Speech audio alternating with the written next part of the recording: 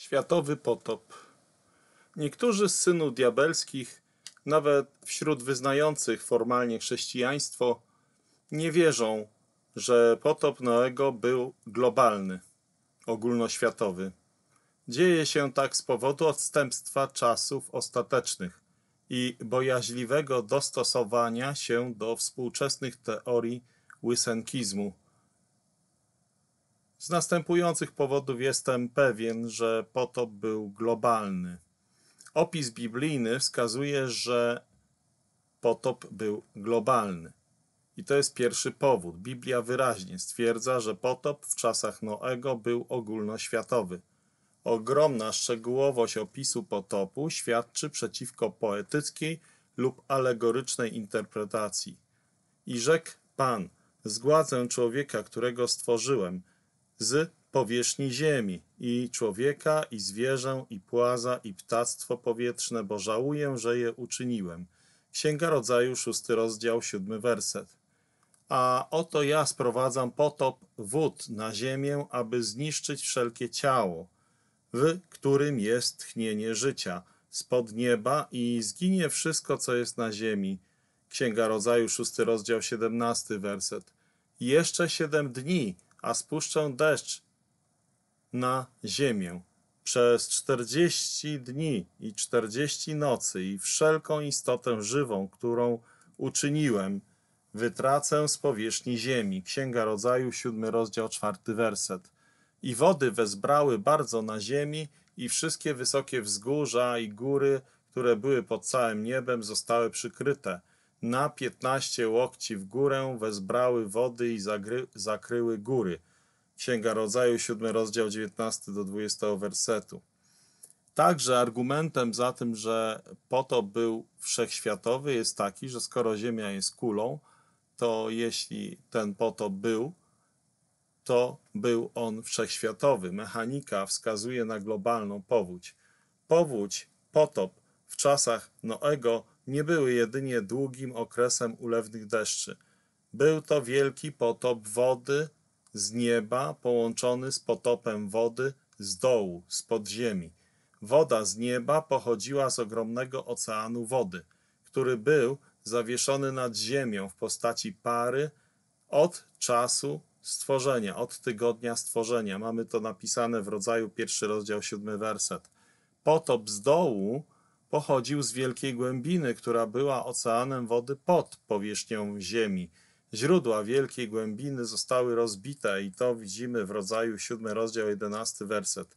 To kataklizmiczne i katastrofalne działanie spowodowało powstanie ogromnych fal pływowych, które przetoczyłyby się, przetoczyły się przez cały świat, przez cały glob, przez całą kulę ziemską fale pływowe wywołane tylko przez jeden wulkan w 1883 roku, Krakatoa, wytworzyły ogromne fale o wysokości co najmniej 30 metrów, poruszających się z prędkością do 500 km na godzinę. Spowodowały śmierć prawie 40 tysięcy osób. Dźwięk erupcji był słyszalny w odległości 5000 kilometrów tak opisują dane historyczne.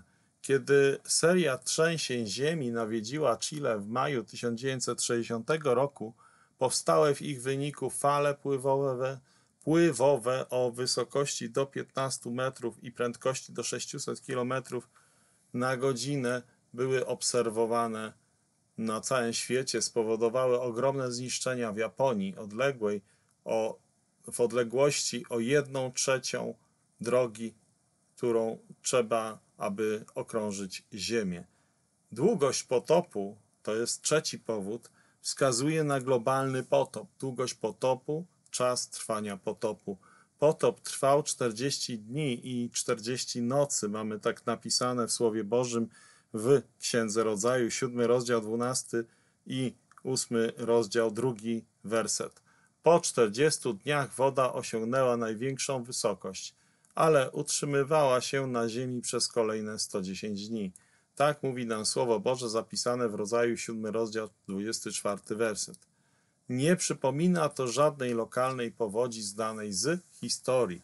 W styczniu 1966 roku w Fok Fok na Reunion, wyspie na południowym Oceanie Indyjskim, ciągu 24 godzin spadło 1825 setnych metra śniegu, czyli y, metrach, metra deszczu, czyli niecałe 1,83 metra, czyli 1,8 w zaokrągleniu metra deszczu.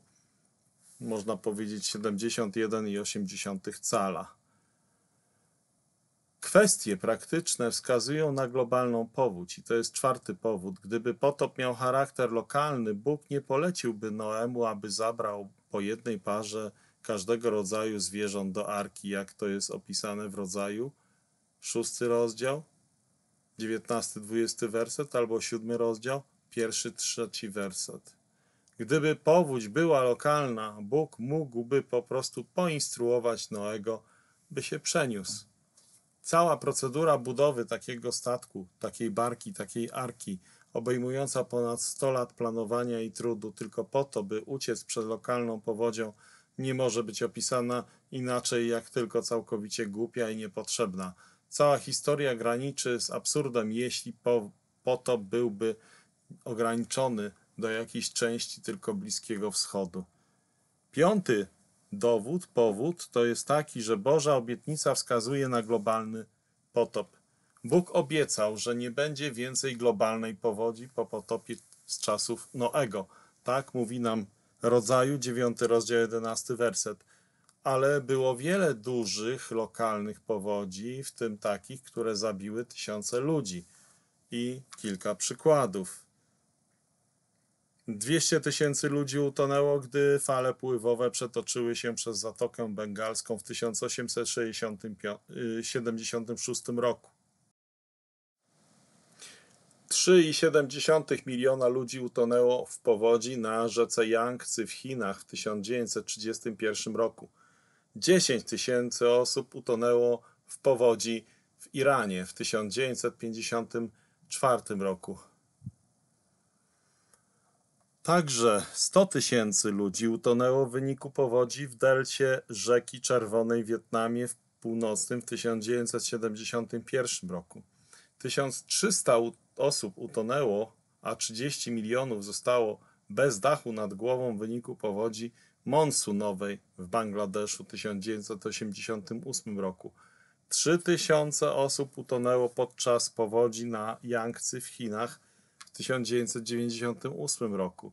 5000 osób utonęło w wyniku powodzi i lawin błotnych w Wenezueli w 1999 roku. 2000 osób utonęło w powodziach monsunowych w Chinach, Indiach, Nepalu i Bangladeszu w 2002 roku.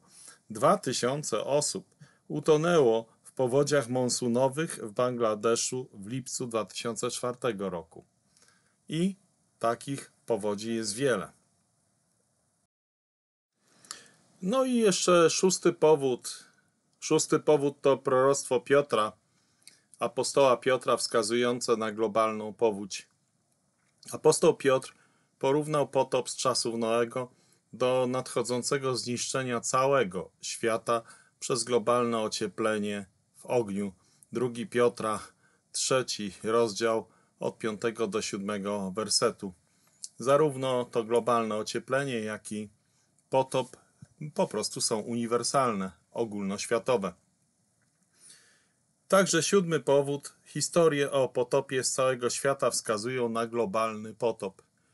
Babilończycy, Asyryjczycy, Egipcjanie, Persowie, Hindusi, Grecy, Chińczycy, Frygijczycy, mieszkańcy wysp Fidżi, także inni aborygeni amerykańscy, Indianie, Brazylijczycy, Peruwiańczycy, a nawet każda gałąź białej, czarnej i żółtej rasy ludzkiej, semickiej, aryjskiej, turańskiej, mają tradycję o wielkim potopie, który zniszczył całą ludzkość z wyjątkiem jednej rodziny i który wywarł niezatarte wrażenie w pamięci środku, przodków wszystkich tych ras, zanim się rozdzielili.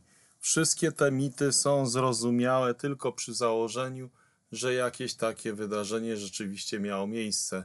Taka powszechna wiara, nie wynikająca z jakiejś instynktownej zasady naszej natury, musi opierać się na faktach historycznych. Opowieści te, choć zawierają elementy bajkowe, mityczne, wprowadzone przez bałwochwalcze umysły, reprezentują uniwersalną pamięć o potopie. Odkryto setki tych opowieści w 70 językach z całego świata, a zdecydowana większość z nich wspomina o wielkim statku, który uratował ludzkość przed wyginięciem, przy czym 90 5% opisuje potop jako globalny.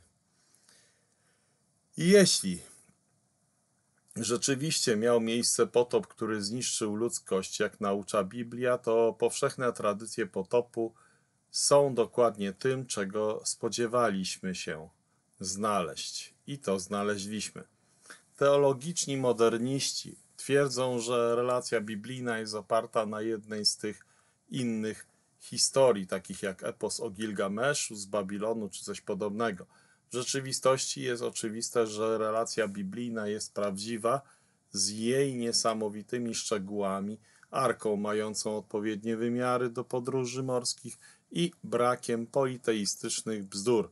Na przykład epos o Gilgameszu mówi, że tak zwani bogowie prawie umarli z głodu podczas potopu, i kulili się ze strachu jak psy. Twierdzi również, że arka była gigantycznym sześcianem, co byłoby bezsensownym kształtem dla statku zbudowanego, aby wytrzymać szalejące morza przez rok. Byłby on szalenie niestabilny. Z drugiej strony, biblijna arka miała 450 stóp długości, 75 stóp szerokości i 30 stóp wysokości co jest podobne do proporcji już bardziej racjonalnych, może nawet podobnych do dużych współczesnych statków morskich, takich jak tankowce i lotniskowce. Globalne warstwy skał osadowych wskazują na globalną powódź. Cała Ziemia pokryta jest facjami lub ciągłymi warstwami skał osadowych o podobnych właściwościach. Około 3 czwarte powierzchni Ziemi stanowią skały osadowe, których grubość waha się od kilku stóp do 40 tysięcy stóp lub więcej. Skała osadowa została pierwotnie uformowana w prawie wszystkich przypadkach pod wodą, zwykle w wyniku osadzania się po transporcie przez wodę z różnych źródeł. Skały osadowe składają się z fragmentów skał lub innych materiałów, które istniały gdzie indziej i uległy erozji lub rozpuszczeniu i zostały ponownie osadzone w ich obecnym miejscu. Skały osadowe powstają w wyniku ruchu wody, która układała warstwę po warstwie poprzez tak zwane sortowanie hydrologiczne piaskowiec, mułowiec, łupek, wapień. Oznacza to, że ponad 70% skorupy ziemskiej zostało przemieszczone przez wielki ruch wody co stanowi mocny dowód na istnienie potopu globalnego, ogólnoświatowego. Ten bardzo specyficzny rodzaj skały osadowej rozciąga się w ciągłym paśmie od zachodniej Australii do Teksasu, Arkansas, Alabamy i Mississippi, a następnie do Irlandii Północnej przez Anglię, aby stać się słynnymi białymi klifami Dover, Dalej występuje w północnej Francji, Danii, północnych Niemczech, południowej Skandynawii, Polsce, Bułgarii, a następnie w Gruzji, w Rosji i na południowym wybrzeżu Morza Czarnego. I tutaj możemy zobaczyć, że są to obserwacje od dawien dawna. Derek Anger profesor geologii z Uniwersytetu, y, z Uniwersyteckiego College'u Swansea w Anglii w czasopiśmie The Nature of Stratigraphic Record z 1973 roku rzucił wyzwanie swoim kolegom geologom łysenkistycznym w tym właśnie czasopiśmie. Ten Ager chciał znaleźć wyjaśnienie Dlatego zjawiska za nim wykorzystają je głośni przeciwnicy łysenkizmu, ale w rzeczywistości jest to niepodważalny dowód na potop z Księgi Rodzaju. Więc mamy nawet obserwacje naukowe potwierdzające globalny potop. Kolejny, 39 powód. Masywne cmentarzyska z kamielin wskazują na globalną powódź. Na całej Ziemi znajdują się ogromne cmentarzyska z kamielin, które stanowią głębokie świadectwo globalnej powodzi, globalnego powodu. Łupki z Burgess w Kolumbii Brytyjskiej zawierają niezliczone tysiące bezkręgowców morskich, które zostały zachowane w najdrobniejszych szczegółach z nienaruszonymi częściami miękkimi, często z pożywieniem wciąż znajdującym się w ich wnętrznościach. Jest oczywiste, że zostały one pochowane w niezwykły i katastrofalny sposób.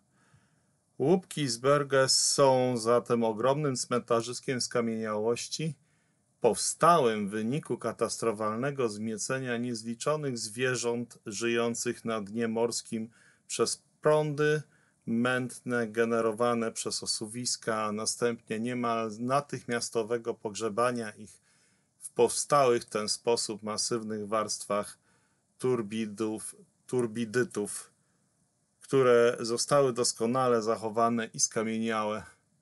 Ordowickie łupki są w RPA, mają 10 metrów grubości i rozciągają się na setki kilometrów. Zawierają tysiące wyjątkowo zachowanych skamieniałości.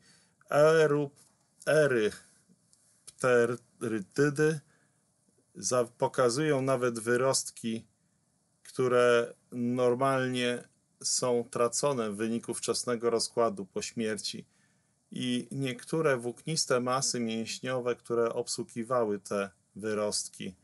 Dowody są wyraźnie spójne z katastrofalnym pogrzebaniem niezliczonych tysięcy tych organizmów na tysiącach kilometrów kwadratowych, co sugeruje, że sam łupek musiał zostać katastrofalnie osadzony i pokryty większą ilością osadów, zanim organizmy y, grzebane y, czy niszczące mogły zniszczyć y, te właśnie ślady i laminacje po tych różnych rzeczach, które później zostały skamieniałe. Dewońska formacja wapienna Thunder Bay w Michigan ma 12 y, stóp grubości, czyli około 20-18 metrów grubości i rozciąga się, nie 12 stóp, przepraszam, to będzie około 4 metrów, 3 metrów grubości i rozciąga się na wiele setek mil. Zawiera miliardy skamieniałości, które zostały katastrofalnie pogrzebane. Karbońskie łupki Monse w środkowej Francji przyniosły skamieniałe szczątki prawie 300 gatunków roślin i 16 klas zwierząt. Istnieją skamieniałe skorpiony z zachowanym jadowitym pęcherzykiem i żądłem.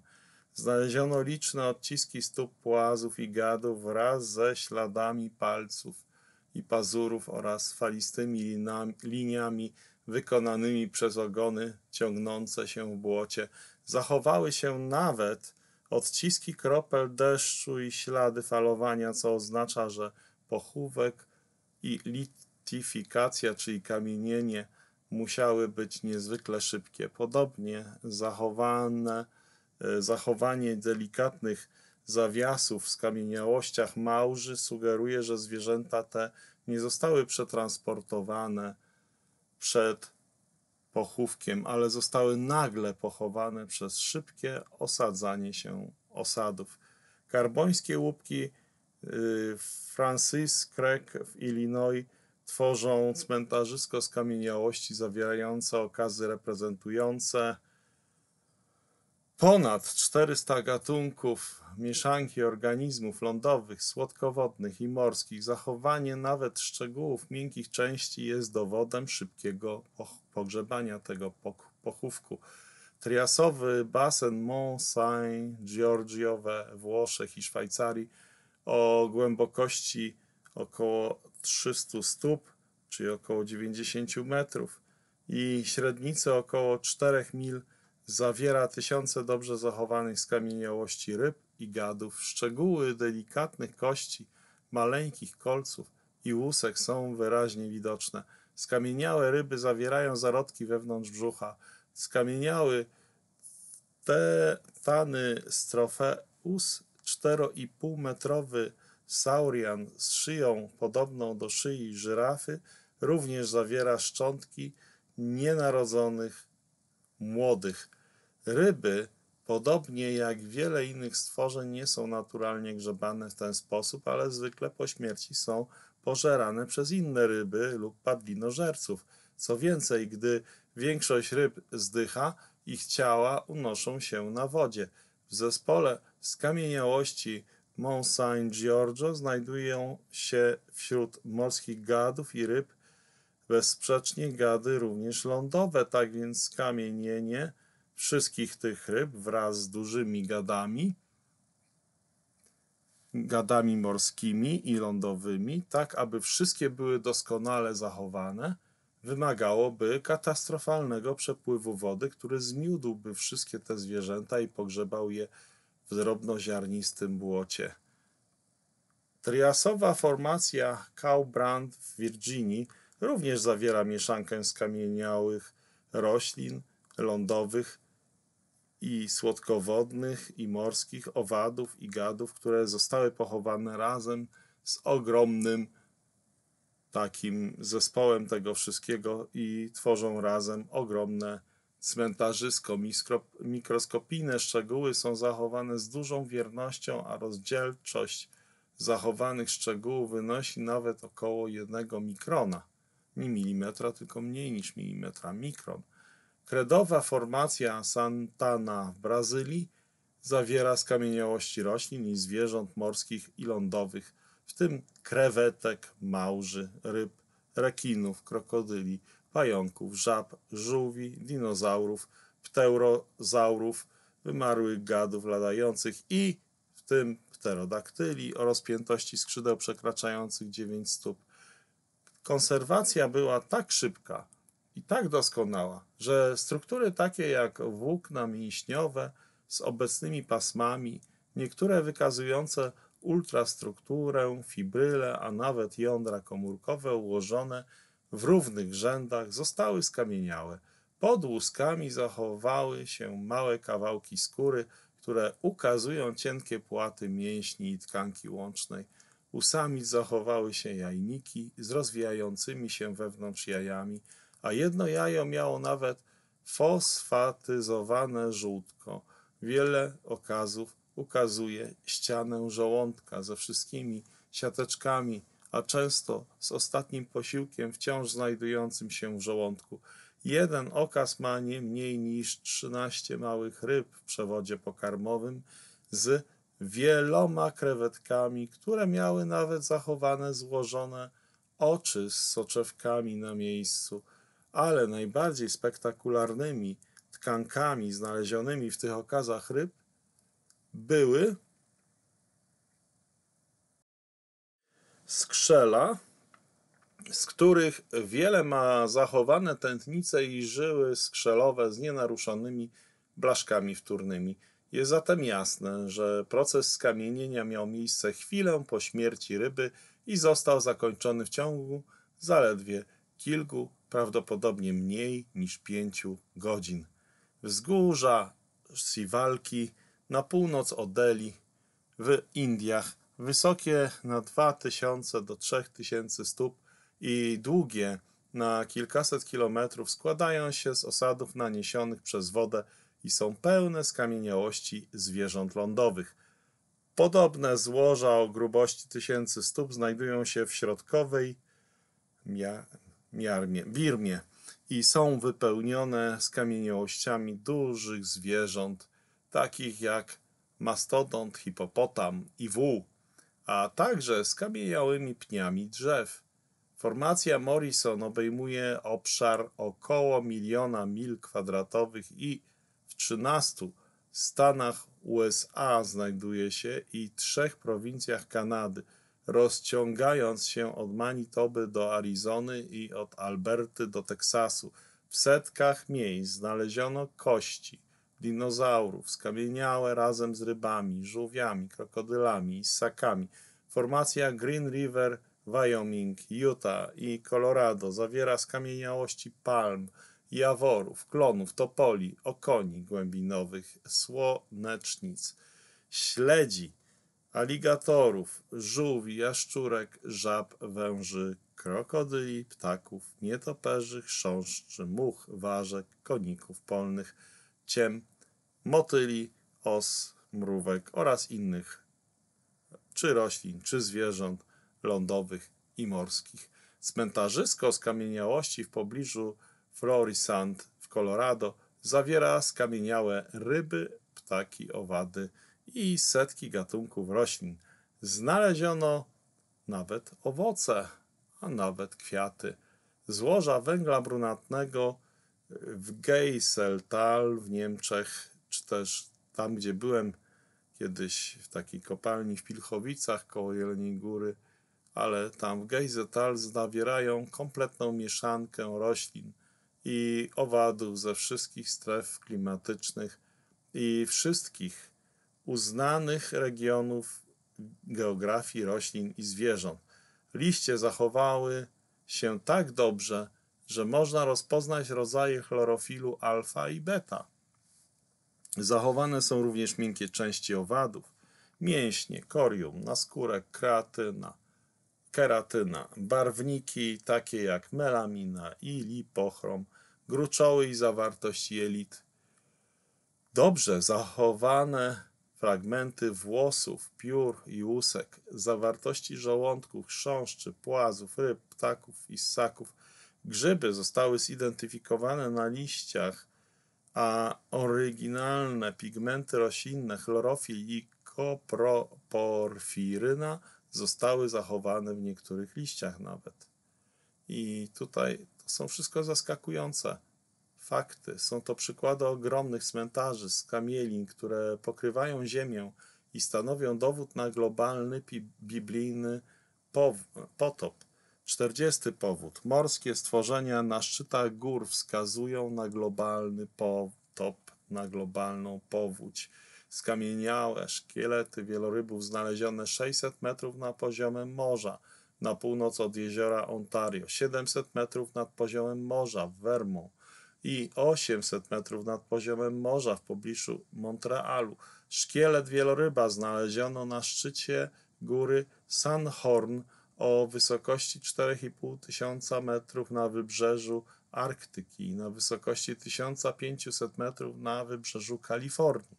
Na szczycie Andów w Ameryce Południowej znaleziono skupiska gigantycznych skamieniałych ostryg.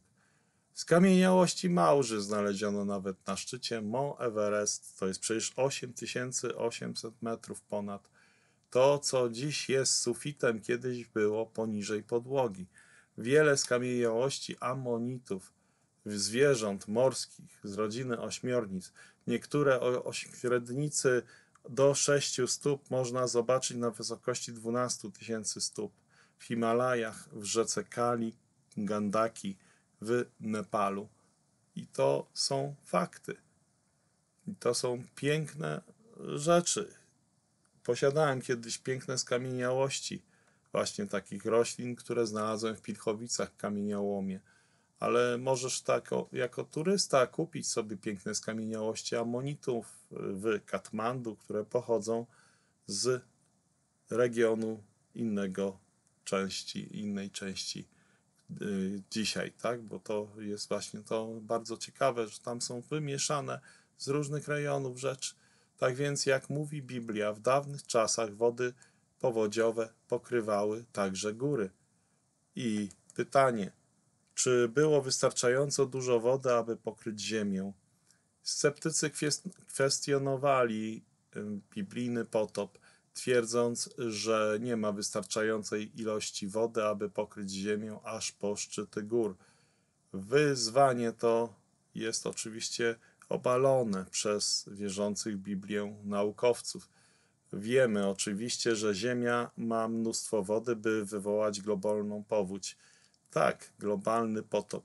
Obliczono, że gdyby powierzchnia Ziemi była całkowicie yy, taką kulą bez y, wysokich gór i głębokich basenów oceanicznych, woda pokryłaby Ziemię do głębokości około 8000 stóp. Ale jest przecież wystarczająco wody, aby pokryć górę o wysokości 29 tysięcy stóp. Kluczem jest pamiętanie o tym, że potop nie musiał pokryć obecnej Ziemi, ale musiał pokryć Ziemię sprzed potopu. A Biblia uczy, że potop w pełni zrestrukturyzował Ziemię, zmienił, przemodelował. Świat, który wtedy był zalany wodą, zginął. Tak mówi 2 Piotra 3,6. Przepadł na zawsze. Dzisiejsza Ziemia została radykalnie zmieniona przez to globalne wydarzenie. Potop wykonał ogromną pracę geologiczną, powodując erozję osadów tu i odkładając je tam, wypychając kontynenty, wznosząc płaskowyże, niszcząc tereny i tym podobne. Także dzisiejsza Ziemia jest zupełnie inna niż wcześniej. Kiedyś te wszystkie tereny były razem, cuzamen do kupy, a potem za Pelega one się rozdzieliły w wyniku tych wszystkich sił, które powstały po potopie. Dziś nawet pasma górskie wznoszą się wysoko ponad morzem. Mont Everest i pasmo Himalaju wraz z Alpami, górami, skalistymi, Apalachami, Andami i większością innych gór na świecie składają się z osadów, które kiedyś były na dnie oceanu, pełnych morskich skamielin naniesionych przez potop. Te warstwy skalne pokrywają rozległy obszar, w tym znaczną część Azji. Wszystko wskazuje na to, że powstały w wyniku kataklizmistycznych, kataklizm, kataklizmu i procesów wodnych o bardzo dużej sile. Są to rodzaje osadów, których spodziewalibyśmy się po ogólnoświatowym niszczącym cały świat potopie z czasów Noego i tak właśnie jest. Pod koniec potopu, po nagromadzeniu się grubych warstw osadów, subkontynent indyjski najwyraźniej zderzył się z Azją, zgniatając osady w góry, Dziś stoją one jako giganty złożone i popękane warstwy osadów z dna oceanu na dużych wysokościach. Potop Noego nie musiał przykryć Himalajów w obecnym kształcie, ale on je uformował i dlatego na szczycie Himalajów mamy muszelki, które kiedyś były na dnie morza. Nastąpiła Drastyczna zmiana topografii lądowej z kontynentalnymi masami lądowymi wynurzającymi się z wód, a baseny oceaniczne pogłębiły się i poszerzyły, aby przyjąć wody odprowadzane z lądów. W jaki sposób te wielkie podziemne jaskinie, w których nie było już ciśnienia, zawaliły się, a ich powierzchnia odpowiednio się obniżyła ponieważ znajdowały się one głównie pod kontynentami przedpotopowymi, służąc jako zbiorniki, być może zbiorniki retencyjne dla ich rzek i ponieważ kontynenty te zostały do tego czasu zasadniczo zniszczone przez erozję powodziową, oznacza to, że stały się one te, wtedy dnem po takich basenach wodnych, oceanicznych i to się wszystko pozapadało, poprzewracało. Nie możesz nie wierzyć w Biblię, bo nie możesz powiedzieć, że nie ma dowodów na jej prawdziwość. A mimo to, mimo tych 40 dowodów i powodów, dla których ja wierzę, że był globalny potop, taki atak na globalny potop jest. Zgodnie z przepowiednią Piotra on jest, bo Piotra proroctwo musiało się wypełnić. Zgodnie z przepowiednią apostoła Piotra mamy dziś do czynienia z zaciekłym atakiem na biblijny opis globalnego potopu w dniach ostatecznych, jak czytamy w 2 Piotra 3 od 3 do 7. Dzięki temu proroctwu dowiadujemy się, że dni ostatnie rozpoczęły się w szczególnym sensie dużo, dużo wcześniej, ale tak jakby ich mroki za, y, zintensyfikowały się w XIX wieku, ponieważ wcześniej nawet świeccy naukowcy powszechnie wierzyli, że Bóg stworzył świat i miał miejsce powszechny potop. W 1930 roku Merson Davis zauważył, powinniśmy pamiętać, że jeszcze 100 lat temu, w 1830 roku, nie istniały tak wyraźne uprzedzenia wobec akceptacji wiary w potop. I to jest bardzo ważne, żeby to rozumieć. Na przykład w XVII-XVIII wieku uczeni z Cambridge powszechnie wierzyli w globalny potop i pisali o nim. Tacy autorzy jak Thomas Burnett i tak dalej dokumentują te właśnie fakty. Ale do czasów Karola y, Darwina w dużej mierze y, po prostu to był fakt. I od czasów Karola Darwina w dużej mierze porzucono to stanowisko na rzecz jednolitego poglądu na geologię darwinowską. Atak na globalny potop był tak powszechny, że dotknął wielu uczonych, którzy chcieli dalej identyfikować się z chrześcijanami. Obecnie coraz więcej ewangelikalnych yy, po prostu wyznawców, podających się za uczonych i ich przywódców idzie na kompromis, po cichu łagodząc wczesne rozdziały księgi rodzaju i sprowadzając je do mitu i legendy lub po prostu uznając je za nieistotne. Więc tutaj widzimy, że takie odstępstwo następuje i to jest po prostu okropna rzecz, ponieważ nie ma na to podstaw, żeby nie wierzyć w potop.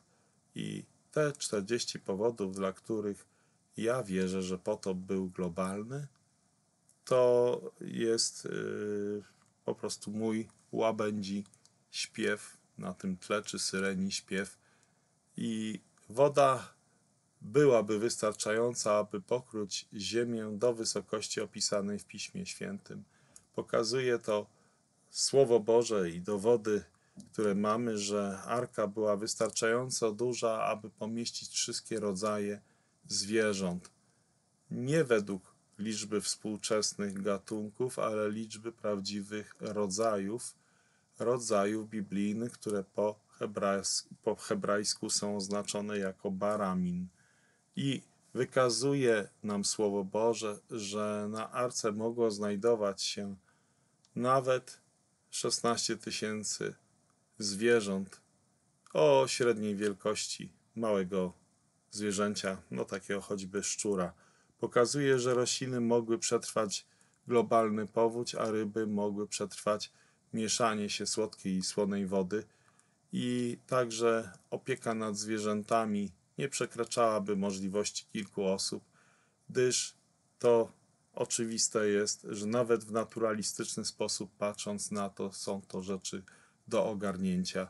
I także zwierzęta mogły ponownie zaludnić całą Ziemię od czasu potopu, i to jest jasna, prosta kwestia, y, że później z tych gatunków, które były na arce, pojawiły się torbacze w Australii. I wiemy, że kopalne torbacze znaleziono w Europie, Afryce, Ameryce Północnej i Południowej, więc powodów na to, żeby nie wierzyć w globalny potop, nie ma.